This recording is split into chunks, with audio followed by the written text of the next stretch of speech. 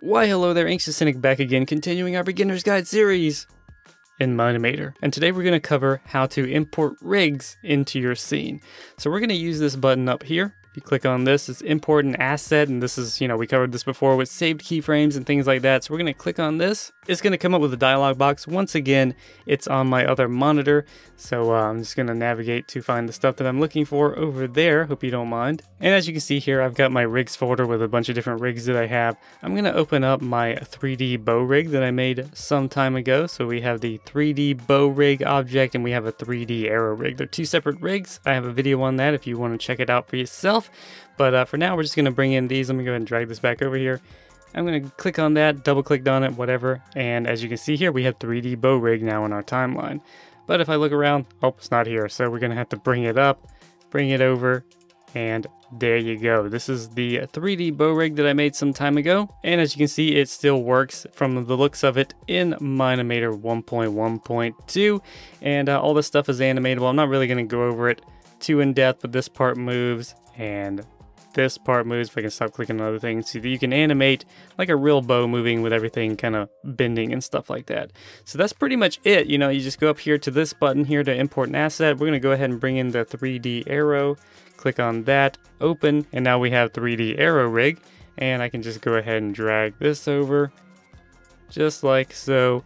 And there's our assets, man. There's the 3D arrow rig. Looks just like that right there, kind of going over that kind of fast, but you know, it is what it is. And then just like anything else, we can take these and parent them to the Steve. We can do whatever we want to, get that Steve, and then we're gonna zero out that position there and then, you know, position it and all that good stuff. So that's pretty much it. That's how you would import uh, rigs and other things. Let me uh, go ahead and get rid of those. Things are going crazy. All right. So there it is. So that's how you import rigs, guys. Uh, as far as making rigs and things like that, I have tutorials to show that stuff already. So if you haven't, I recommend you go on into the channel. You can search on the channel rigs. You can go to my tutorials playlist and check them out there. But that's pretty much it. You could just dangle, bring in your rigs like that, start using them in your animations and good stuff. So like one little thing I want to go ahead and note here, uh, this hasn't been happening to me, so it's hard for me to confirm the process here, unfortunately.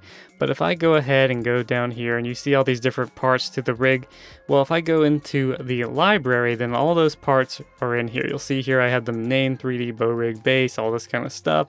And they have their textures applied. You'll see the image right there. There's a texture and we have all these different textures for each part of the rig. If you're not familiar with what all this is, I just jumbled those words. But if you're not familiar with this, then I recommend watching my rigging tutorials or someone else's, you know, to kind of get an understanding of how rigs are done and what they're all about, but they're basically just a bunch of parts put together to make a single object that is more animatable than the default objects. So anyway, uh, sometimes the textures don't load in. It'll come in purple or something, it doesn't look right. So all you should have to do is go into the library, you click on these, you come down here to the textures and just reselect the one that is relative to that object. I'm not 100% sure about that. Uh, just test it out and maybe it'll work if you're running into that problem. But uh, I'm pretty sure that's all you have to do, just so Mine-imator knows like, oh hey, this is actually part of this, and this is the texture that you want to use and stuff like that. It's kind of like it forgets where they are or something. But hopefully that'll help you. If not, then uh, you might have to reload the textures altogether. You can go into the resources here and, you know, bring in the objects. You know, you can go here and open that file or replace it uh, there's different uh, things you can do. Reload the selected resource from the hard drive. You can uh, replace the selected resource with the, a new file, stuff like that. So those are the basic things that maybe you can do to rectify that issue if you run into it. But that's going to be it for this video, guys. Thanks for watching. Hope it was helpful. If you liked the video, feel free to hit that like button, comment, and subscribe to become a Cynizen today. Share it with your friends, your family, and your pets. And I'll see you guys in the next video.